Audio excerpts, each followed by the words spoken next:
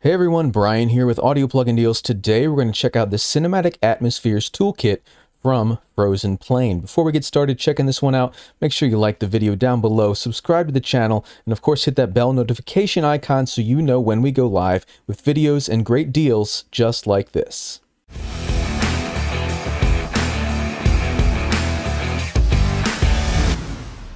All right, so here we're going to check out the Cinematic Atmosphere Toolkit. This is from Frozen Plain, and this runs in their own standalone sampler called Mirage. So you won't need Kontakt or anything like that to run these libraries. So we're going to go over here and load in Mirage, and here is the basic uh, interface. You're going to have a little browser right here and you'll be able to select from the six different libraries that are included in this bundle and it's going to give you a little bit of information about each one. So really you can just load up each one and you'll notice we'll have three layers here and there's different uh, controls for each layer. We have the main which is the envelope filter, we have EQ, MIDI such as uh, transposing, stuff like that, velocity mapping, LFOs, and then loop. Set the loop points for this particular sustained uh, note. And so we can have each of those going on. You can have one layer or enable all three. We're also going to have some effects over here. Just click on the effect, it will kind of minimize it and you'll be able to see them all. So if you want to turn on delay, you can turn it off and on just like that, or you can click it and get the more detailed controls there. So let's check out some of the sounds and hear what this thing has to offer.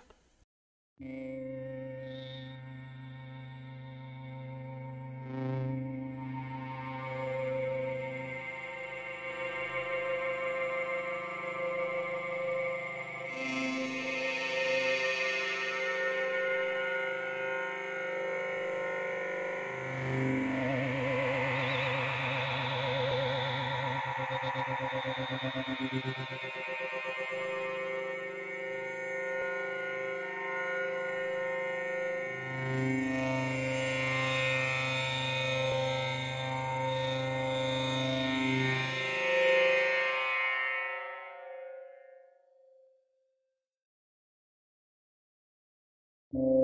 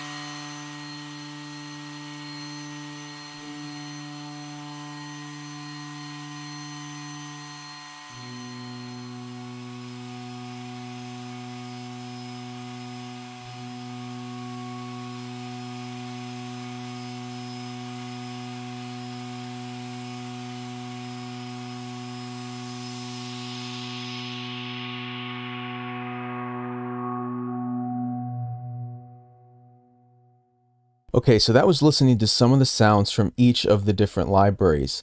But you can also go here, go back to the main interface here. Um, you can also go here and load up some presets that are going to make use of all of the three different layers as well as the different effects and everything. So you notice how I loaded up a single library um, and we would get different sounds here. So you can click this and you're going to have different sounds. So let's say for go back to dream states. You click here, you're going to have different categories as well from chords, atmospheres, one shots, instruments, and then sequences. So let's check out one of the sequences. This is called airy sequence.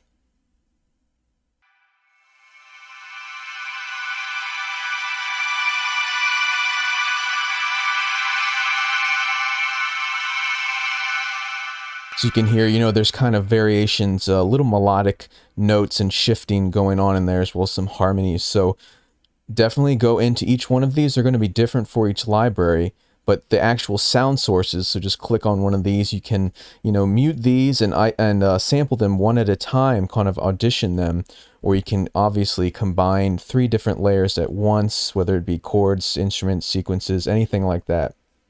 So then let's make use of also the presets here. Since we've heard some of the sounds from each library, let's listen to some of the presets here.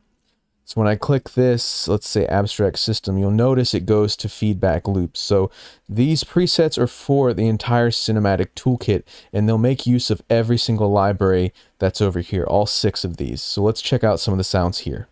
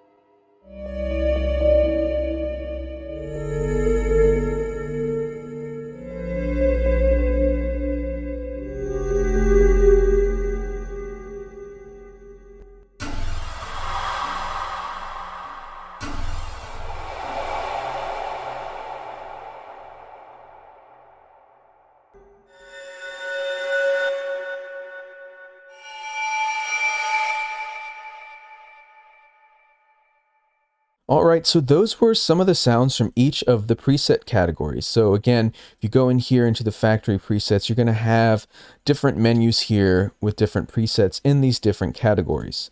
But also remember, you can simply load up a library and then audition each sound one by one just by scrolling through here or click in here and you'll get different categories from one shots, uh, which will be, you know, the shorter sounds and then the sustains, which will be the longer loop sounds. Also, you can determine the exact looping points in the sustain notes or any of the notes, but that's a nice addition as well to be able to go in here and adjust that.